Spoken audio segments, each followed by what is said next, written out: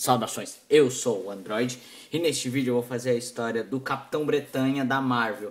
Então, chega de enrolação, vamos lá, tudo bem. Capitão Bretanha, ou Brian Braddock, é um personagem fictício da Marvel Comics criado por Colin Clayton e Herb Tripp.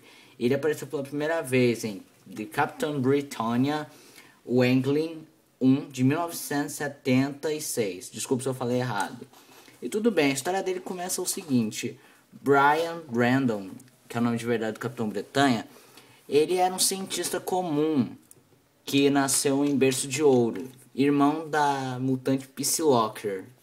É. Então tá. Ele, diferente dos seus irmãos, não se interessava por combate, e sim pelos estudos, tanto é que ele era um cientista bem nerdão mesmo. Então tá, então ele participou de um, conseguiu um emprego de um, um laboratório nuclear lá no Monte Collincon. Eu acho que é assim que se pronuncia. Mas enfim, aí então ele trabalhava muito bem até que a base foi invadida por um inimigo que se chamava o Carniceiro. Então aí, esse carniceiro mandou soldados armados até os dentes. Joga, isso jogou bombas de gás que incon, tornaram inconsciente os cientistas. Então, o Brian consegue fugir de moto, mas uma das naves, que na verdade não era uma nave, era um avião, um jato, para ser mais exato, que parecia uma nave espacial para aquelas pessoas dos anos 70. E aí ele acaba sofrendo um acidente de moto, mas sobrevive. Então, ele se encontra com o poderoso Merlin e Roma, que então lhe dá uma escolha de para se tornar o protetor da Terra. É, um dos protetores da Terra. E aí ele podia escolher o medalhão ou a espada, que representariam vida ou morte. Então ele escolhe o medalhão achando que a espada é muito violenta, então seu corpo é transformado e assim ele se torna o Capitão Bretanha. Com seus incríveis superpoderes, ele derrotou o carniceiro e salvou os cientistas. E... Então tá, o que acontece é o seguinte, ele enfrentou diversos vilões, entre eles estava o próprio Caveira Vermelha, em que ele deu uma passadinha na América e ajudou até o Capitão América. Ele, ele também enfrentou uma inteligência artificial criada pelo seu próprio pai, que até assassinou ele, o pai, óbvio, chamado o Mestre Central. Eu falei quase errado. É Mestre Central. Então, ele já embarcou em outras aventuras, como por exemplo recuperar o corpo e a alma do rei Arthur. É. Só que na verdade, esse teste não passar era um teste do Merlin para testar ele. Então, após essa luta, após esse teste, ele ganha uma nova roupa, que é a que a gente conhece muito, e assim ele embarca para uma aventura bem doida em que ele supostamente volta na Terra, só que na verdade, para a Terra, perdão mas na verdade ele é mandado para uma outra dimensão em que nada faz sentido, que mistura Lewis Carroll do Alice no País das Maravilhas, em que tem diversos personagens como o Fúria, Mad Jaspet e dentre outros personagens muito psicodélicos. E nessa história ele descobre que na verdade ele não é um ele não é o Capitão Bretanha, ele é um Capitão Bretanha, porque Merlin na verdade mais uma vez estava testando sua psique e só revelou a ele que ele possuía um dos títulos do Capitão Bretanha da Terra 616 e que existia uma tropa inteira de capitã, capitães bretanhas e que então ele havia revelado a eles como uma forma de psique, psique. E ele tanto é que já tentou lutar contra esse Fúria, que foi um dos seus piores inimigos e que matou diversas pessoas mas acabou perdendo. E quando ele deu um momento bíblico falando o que aconteceu, por que, que ele não ganhou, ele acabou sendo atingido por um raio pelo próprio Merlin e morreu. Mas ele acabou voltando dos mortos. Bom, gente, é muito confusa essa questão da morte e renascimento dele. Que o Merlin matou para ressuscitar ele, para refortalecer ele, para ele ter uma experiência mais poderosa e acabou retornando após de fragmentos de seu traje e de seu corpo, certo?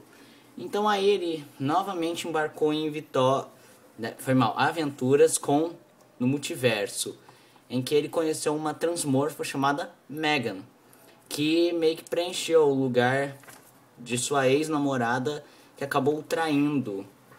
E aí então, essa alienígena transmorfa acabou namorando com ele. Coincidências não, fa... não tem nada a ver. É, enfim. E o que acontece depois? Ele, cons... ele cria, né, junto com os outros X-Men, Noturno e Lynx Negra e outras pessoas, o Excalibur, uma versão britânica dos X-Men, diga-se de passagem.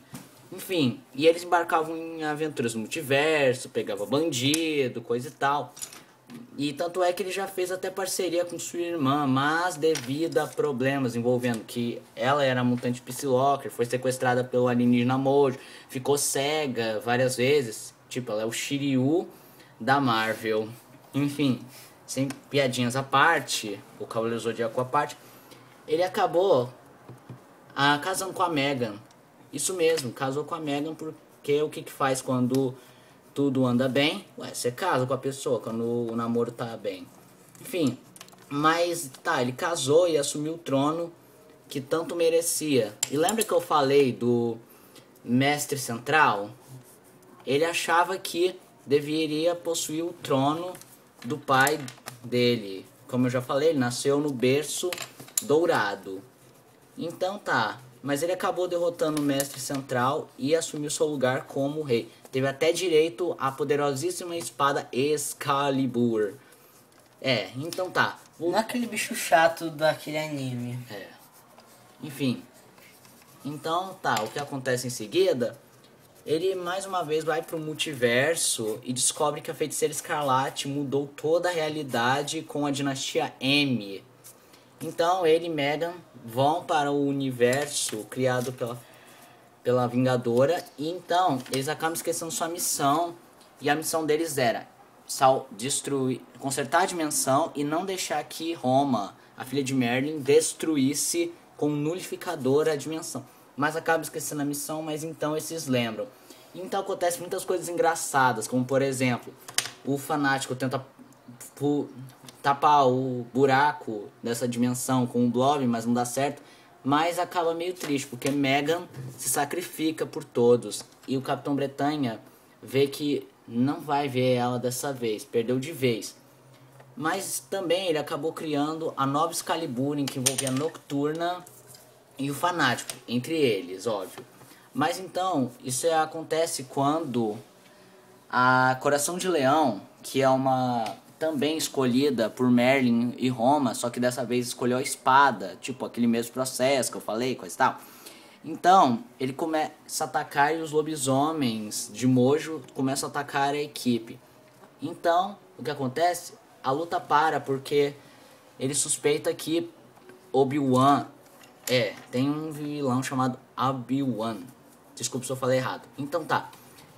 Que está por trás disso tudo. E para isso, atualmente ele está disfarçado como o Ar Negro no Clube do Inferno. Bom, gente, isso é basicamente a história dele. Vou falar um pouco dos poderes. Basicamente, ele tem poderes de controlar seu traje, ele voa, tem super força, super resistência e domina uma grande habilidade de poder que vem de uma dimensão alternativa. E ele tinha um bastão que acabou perdendo quando mudou de uniforme. Então tá, essa foi a história dele. Então se você gostou do vídeo, se inscreve no canal, compartilha o vídeo, comenta, o like, deixa sugestão de que vídeo você quer ver aqui no canal. E não esqueça também de visitar os canais parceiros, que é o Olavart, o Pietzi Tirra e o Templo do Laurt. Então, eu sou o Android, digo tchau!